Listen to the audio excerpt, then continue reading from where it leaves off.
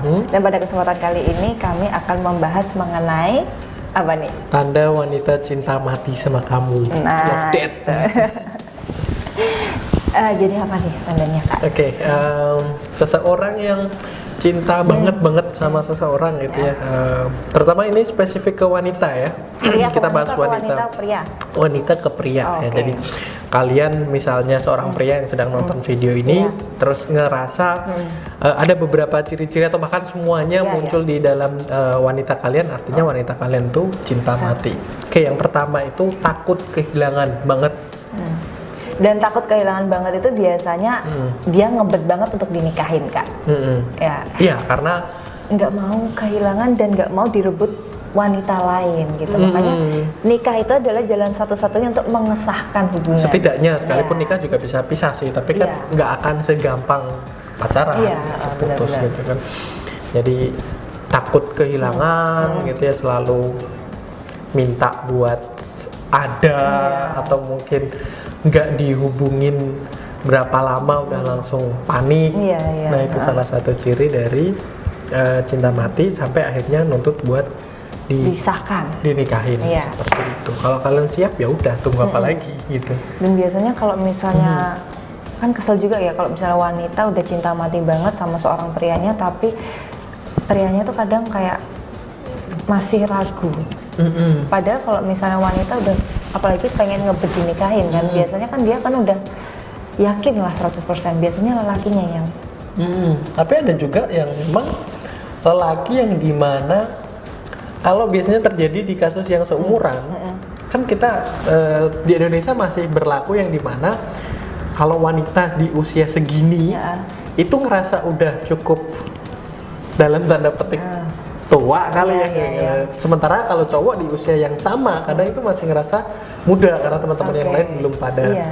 berkeluarga berarti dan kayak sebagainya. lingkungan juga ya Mhm. pengaruh ke lingkungan juga yang kayak faktor-faktor kalau misalnya nikah nunggu teman juga sih nah gitu. Hmm, kan misalnya sama-sama 25 lah, 25 kan dibagi cewek sudah mulai ada omongan Iya. orang dan sebagainya. Tapi kalau cowok di 25 itu masih santai-santai. Iya masih banyak banget banget ya Uh, masih ngejar karir. single dan dan sebagainya seperti itu. Tapi kalau intinya kan kita membahas soal cinta mati. Tapi Iya. kalau emang sampai di titik di mana wanita itu pengen buat dinikahin, Iya. dilamar dan Iya. sebagainya ya artinya dia emang udah yakin cinta mati Iya. sama kamu seperti itu. Terus eh, ada kondisi di mana wanita itu rela buat memberikan semuanya Iya. bagi si pria. sampai ke hal-hal yang sensitif ya Hmm, semuanya lah. kota mahkotanya Iya, maksudnya dia Nggak perlu princess gitu ya, kan ya. mau dikasih ini gitu. Ah, ini hal negatif sih sebetulnya kalau bisa sih tahu batas Iya. itulah. Cuman ya terjadi. di- Iya, di saking sekitar cinta kita. matinya kan, Mhm. dia mau melakukan apa pun, mau memberikan apa pun, semua semuanya hanya untuk seorang prianya agar prianya itu merasa ya she's the only one. Hmm, hmm, hmm, hmm, hmm. Ya, nah eh, itu salah satu eh, ciri lain dari cinta mati. Cuman ya pesan kita lagi ya eh, sebaiknya harus eh, tahulah batasan-batasan Iya. di mana kita ada hal yang memang harus dijaga dan sebagainya. Tapi ya kembali lagi ke diri masing-masing Ya, sih. dan pikirkan juga ke depannya gimana ya efeknya ya. Mm-mm.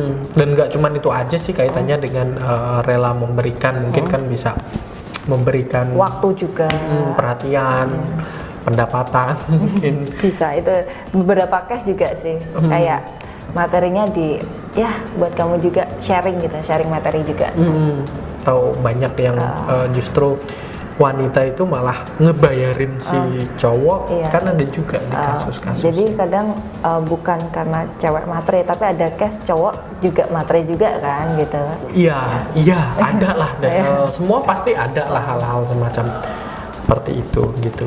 Terus Terus yang Hmm. selalu minta pendapatan, eh, pendapat iya, selalu minta pendapat cowok. pendapatan ya. ha. Untuk setiap keputusan. Hmm. Nah, biasanya uh, bukan hanya keputusan yang besar ya, Hmm. tapi keputusan-keputusan kecil kayak uh, misalnya mau nonton apa gimana gitu. Terus uh, kamu mau nonton apa gitu-gitu kayak Hmm. mendahulukan pendapatan eh pendapat, Pendapat. cowok itu. Hmm, gitu. tanpaan. Ah, iya. Pendapat.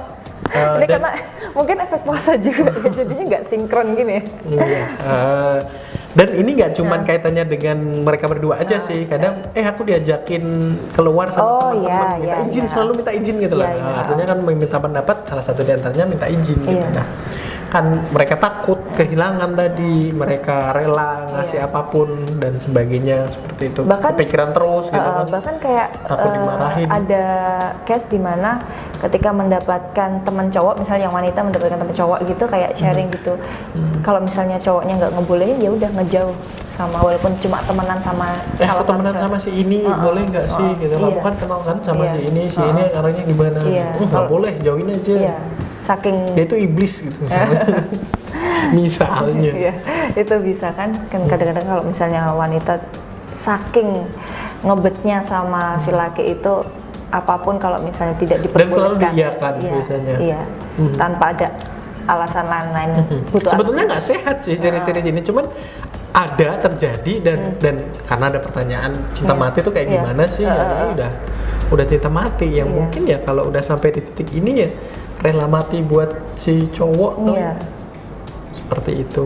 Nah sama yang terakhir itu punya kepercayaan penuh sama kamu sebagai Hmm. seorang pria. Jadi eh, nggak ada lah yang namanya curiga-curigaan dan sebagainya gitu karena cinta mati. Iya walaupun sekelilingnya udah bilang kalau misalnya cowok si wanita ini A I O E E kayak gitu-gitu Mm-mm, ya. Tapi dia nggak percaya semua, dia percaya sama kamu gitu. sebenarnya itu nggak baik sih kayak Iya, emang semua yang di yang di sini gimana lagi? Cinta mati gitu Uh-uh. dan itu tanda-tandanya yang memang kita eh, dari teman-teman juga kan kayak gitu. Kalau misalnya melihat eh, sharing-sharingnya teman cinta mati Mm-mm, itu kalau uh, cinta mati itu emang nanti ujung pangkalnya ke sesuatu yang negatif, bucin dan sebagainya. Tapi ya udah gitu loh. Artinya uh, misalnya kalian para cowok yang uh, mendapati wanita kalian semacam seperti ini di Iya. beberapa kasus ya kalian ingetin juga Iya, iya. gitu loh. Seperti itu.